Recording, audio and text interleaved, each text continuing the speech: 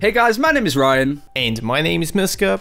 And welcome to Overwatch Central. Now, as much as we love making guides, talking about the meta and general health of the game, lore, so on and so forth, we are also massive idiots. Idiots who like to have fun and make crazy game modes to play with subs on streams, with our friends, so on and so forth. So you can imagine our utter excitement when we saw the server browser hit the PTR. Well, in this video, we've created some crazy game modes ourselves, as well as seen some really cool stuff on Reddit that we want to share. So we've got seven game modes that you should definitely try out yourselves. We'll include all of the settings we used in the description below, but mostly it comes down to adjusting specific settings to fit your needs and experimenting with it. That's part of the fun as well, being able to change stuff and making your own game modes from these ideas. Also, if you have any favourites that we've missed out in this video, do let us know below. We want to try out as many as possible. So if you have some of your own or some that you've played on the server browser yourself, then do let us know below. Asymmetric team-based game modes have become very popular in many games over the past few years. Evolve is a good example of one player playing a boss character whilst four others others try to take them down.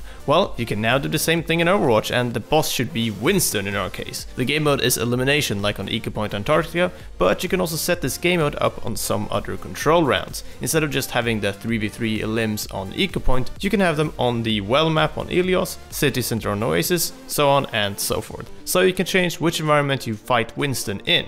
Also, with some of the aesthetics, it can feel very Shadow of the Colossus-esque, this game mode. So, how do you set it up? Well, set up one team to have one player and the other team between 4 to 6 players. Team 1 should only have Winston in their hero pool, and Team 2 can be anyone but Winston. However, it's not that fun to be playing Pharah because you just fly far away from the Winston, but you can experiment with those picks as you wish. Then from here you want to increase Winston's health by 2 times. Then change the damage dealing, damage received, speed and ability cooldown as you see fit. A lot of the fun comes from adjusting the settings to your liking and adding stupid sort of twists into the game mode. But we would definitely recommend turning healing off for Winston as well as disabling Primal Rage. Maps with verticality and places you can fall off of, like the gardens on Lijiang Tower and Sanctum on Nepal, really make you feel like you're in a sort of boss battle.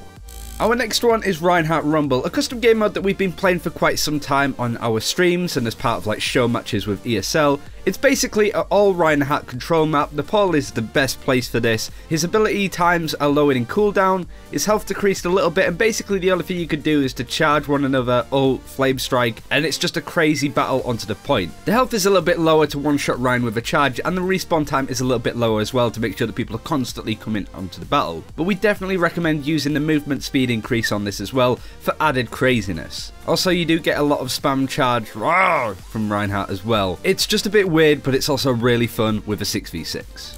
On to our next one, which is Reinhardt related again. This game mode is asymmetrical and probably involves 4 to 8 players of you 8 total. The game mode is elimination again, and the gist of this goes as follows. Reinhardt chases tracers around, Reinhardt's movement speed is double the normal, his melee attacks will one-shot the tracer, and the tracer will not have recall, but has blinks on a much slower cooldown. She does move 1.5 times faster though, and generally it's a game for Reinhardt to TIG or tag all of the tracers. The winner is either the Reinhardt who kills everyone or until the end of the time runs out in elimination, which I think is around 3 minutes. To balance this out, it's fair to have 3 tracers per Reinhardt, so you can choose between a 6v2 or a 3v1 kinda, and that way the two Reins can work together to kill all those annoying tracers within the time limit. Then when that's done, the round finishes and a new player becomes the Reinhardt. It's pretty straightforward but fun nonetheless. Next up is a game that surfaced its way onto the top of the Overwatch subreddit a few days ago. MXC14 showed us his sick moves on the subreddit as he traversed across the start of Numbani to the end within seconds. It's a simple concept, Lucio only, 300% speed, you can lower it a little bit, we would recommend that you do that, and get to the other side of the map first. But we've added a couple of rules to make this game last a little bit longer, as well as to make it a little bit fairer. To start, a spectator counts down, of course, all players tag the wall that they are at at the start,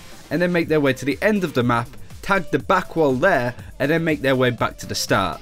So the race is basically there and back. Numbani is the best map for this as it's a sleek design, it's great for wall riding, but can be done on Hollywood, Kings Road, Dorado, so on and so forth. But just bear in mind that some maps aren't really great for wall riding. And this game mode is also great if you're listening to the Tron soundtrack or some F-Zero music. I mean, you gotta go fast. Next up is Hide and Seek, very similar to Reinhardt TIG, but a little bit more stealthy.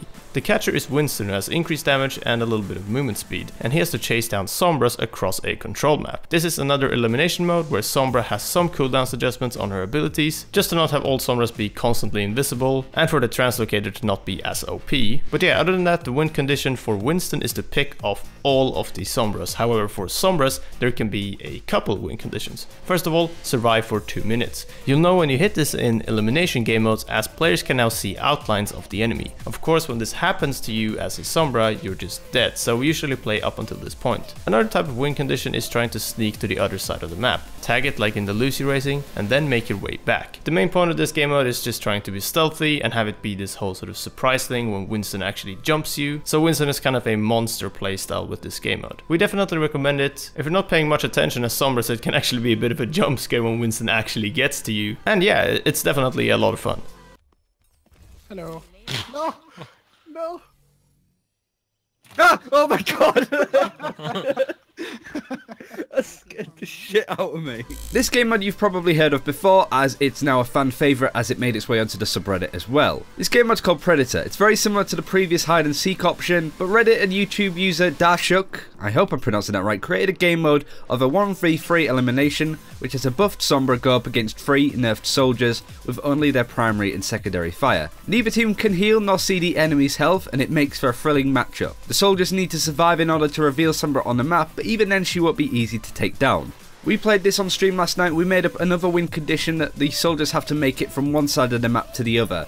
Almost like a get to the chopper sort of thing. God, that was a bad impression. But I sure as hell wouldn't want to go up against Cody Niku in this game mode, as Sombra is kinda scary in this. Last one is like two or three game modes in one, but it's mainly a suggestion that you can try out. It has to do with Quake and CSGO and all those other types of shooters that inspired Overwatch in the first place. For the Quake type of game mode, it's mostly just Pharah, so you can do bigger explosions, higher movement speed, you can remove the jetpack if you want, and you can play this on any type of map, but we do recommend Control. The Counter-Strike type of game mode would be Elimination, all McCrees with a little bit less damage, so you don't kill each other as quickly. But yeah, we put all these game modes in sort of one category because they're inspired by other games, mainly FPS games, and we can recommend to check out the in-game browser for other game modes that other people have made, take inspiration from those and sort of craft your own. If you do have any cool custom games yourself though, let us know in the comments below and we may do another video in the future with your ideas. Because we're nice here at Overwatch Central, we thought we'd include an extra one, and that is the Omnic Crisis game mode. It's a spin-off idea that Force Gaming had a while ago before this PvE event was announced. Basically, 3 to 4 players have to defend against 6 hard Bastion bots, or players as well, that are a little bit buffed and will try their best to push the payload along and push you back. The best map to do this on is Eichenwald for RP reasons, but this one it's about messing with the settings, making sure that the Bastions are strong enough that they're a challenge to bring down, but not that they just completely wipe you out all of the time.